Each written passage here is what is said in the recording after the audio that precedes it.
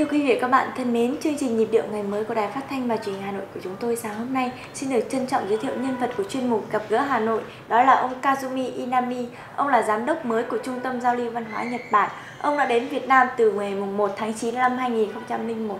Dạ vâng, thưa ông Kazumi Inami, lần đầu tiên khi đến Hà Nội thì điều gì gây ấn tượng nhất đối với ông?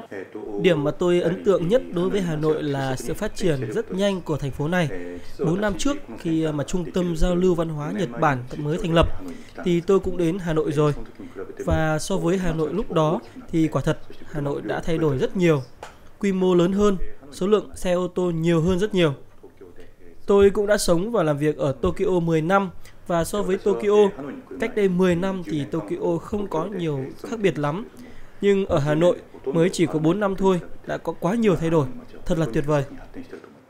Xin cảm ơn ông về những chia sẻ vừa rồi. Bây giờ ông có thể giới thiệu cho quý vị khán giả của chúng tôi được biết là những hoạt động chính của Trung tâm Giao lưu Văn hóa Nhật Bản tại Việt Nam là gì?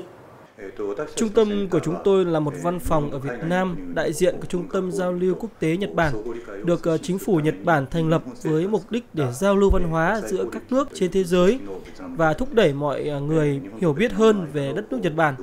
Hoạt động chính của chúng tôi là nhằm thúc đẩy các hoạt động giao lưu văn hóa giữa hai đất nước của chúng ta, đặc biệt là trong lĩnh vực hỗ trợ giảng dạy tiếng Nhật, hỗ trợ về việc thúc đẩy trí tuệ, văn hóa, nghệ thuật. Thưa ông, hoạt động chính của Trung tâm Giao lưu Văn hóa Nhật Bản đó là sự hỗ trợ về dạy tiếng Nhật tại các trường trung học phổ thông và trung học cơ sở tại Việt Nam. Và hiện nay trung tâm đang tiến hành dự án từ năm 2010 đến 2013. Vậy thì ông có thể đánh giá một cách cơ bản về những kết quả nổi bật của chương trình này được không?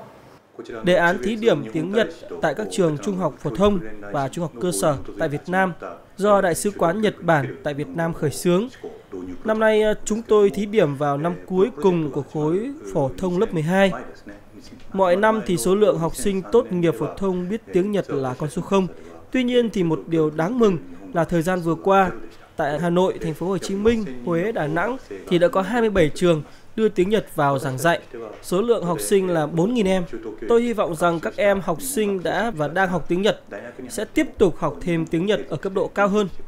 Các em sẽ là những người thúc đẩy mối quan hệ giao lưu văn hóa Nhật Bản và Việt Nam.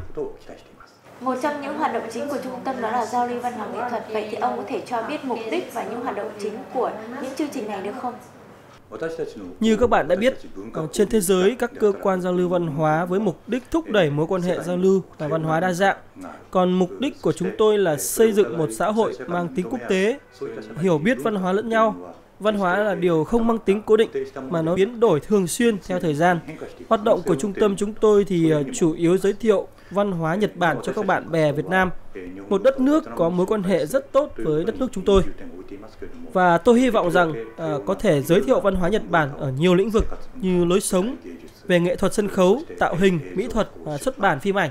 Và cùng với đó là sự tổng hợp một bức tranh toàn cảnh về văn hóa Nhật Bản để các bạn hiểu. Thông qua đó, chúng tôi hy vọng rằng văn hóa Việt Nam và Nhật Bản sẽ có mối quan hệ tổng hòa, giao lưu trên tinh thần học hỏi là điều mà chúng tôi luôn muốn hướng tới. Một điều mà chúng tôi được biết là Liên hoan phim Nhật Bản 2011 tại Việt Nam có chủ đề là tình yêu. Vậy thì chương trình đó năm nay diễn ra ở Hà Nội sẽ có những hoạt động như thế nào? Ông có thể chia sẻ được không? Uh, Liên hoan phim năm nay chúng tôi gồm 8 bộ phim Nhật Bản đã được trình chiếu từ ngày 20 tháng 10 đến ngày 26 tháng 10 tại dạp chiếu phim quốc gia. Đây là một trong những tác phẩm hay nhất của Nhật Bản vào năm 2010 còn có cả những bộ phim sản xuất vào năm nay. Những bộ phim này đều có chủ đề là tình yêu, có từ tình yêu anh em, tình yêu giữa nhiều thế hệ trong gia đình, tình cảm vợ chồng. Các nhân vật chính trong những bộ phim này có từ thời xa xưa đến những người trẻ. Vé của liên hoan phim được phát ờ, hoàn toàn miễn phí nên đã được sự đón nhận của rất nhiều khán giả. Chúng tôi rất lấy làm vui mừng. Liên hoan phim của chúng tôi luôn được thực hiện hàng năm nên chúng tôi cũng rất mong là mỗi năm sau lại có nhiều người tham dự nhiều hơn năm trước. Vậy thì thưa ông, kể từ khi lần đầu tiên ra mắt vào năm 2003 thì cuộc thi Hùng biện tiếng Nhật, sau đó được đổi tên là lễ hội tiếng Nhật, đã được rất nhiều công chúng và các bạn sinh viên đón nhận. Vậy thì năm nay lễ hội tiếng Nhật sẽ có những gì, điều gì đáng chú ý, ông có thể chia sẻ? Lễ hội tiếng Nhật năm nay đã kết thúc rất thành công. Thật là điều đáng vui mừng đối với chúng tôi. Năm nay người à, giành giải là một sinh viên đến từ Đại học Huế và một sinh viên Đại học Trường Ngoại thương Hà Nội. Hai bạn đã được mời sang Nhật à, tham quan và học tập Thực ra là tôi mới được đến Việt Nam nên tôi cũng ờ, không được trực tiếp tham gia vào lễ hội. nhưng lễ hội đã được đánh giá rất tốt. Các bạn sinh viên năm nay đã có những bài tốt hơn năm ngoái rất nhiều. Điều đáng quý nhất là trong nhiều bài viết các bạn gửi đến trung tâm thì có những ờ, lời chia sẻ với những người dân Nhật Bản bị sóng thần, lũ lụt Ờ, như người dân Nhật Bản ờ, cố lên. Chúng tôi đã rất xúc động và cảm ơn các bạn rất nhiều. Ngoài ra thì mấy tháng trước, chúng tôi cũng đã nhận được những gói cứu trợ của Việt Nam cho người dân nước tôi. Ờ, vì thế nhân qua chương trình, tôi xin thay mặt những người dân nước tôi, xin được gửi lời cảm ơn sâu sắc nhất đến các bạn Việt Nam.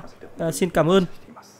Vậy thì thưa ông, trong thời gian tới, Trung tâm Giao lưu Văn hóa Nhật Bản sẽ có những hoạt động như thế nào ở Việt Nam để thúc đẩy mối quan hệ tốt đẹp giữa Việt Nam và Nhật Bản?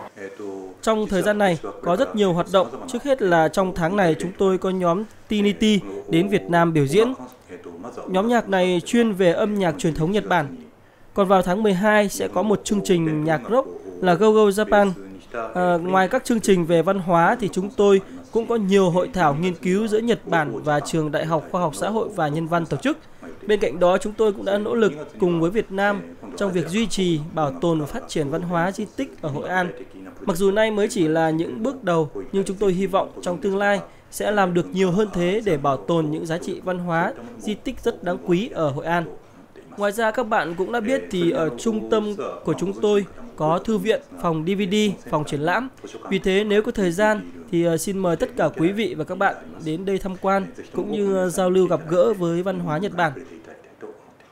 Dạ vâng, một lần nữa xin thay mặt những làm chương trình nhịp điệu ngày mới của Đài Phát thanh và Truyền Hà Nội cảm ơn ông Kazumi Inami đã dành thời gian cho chuyên mục gặp gỡ Hà Nội của chúng tôi sáng hôm nay và xin chúc ông sẽ có một nhiệm kỳ công tác tốt đẹp tại Việt Nam. Xin cảm ơn quý vị khán giả.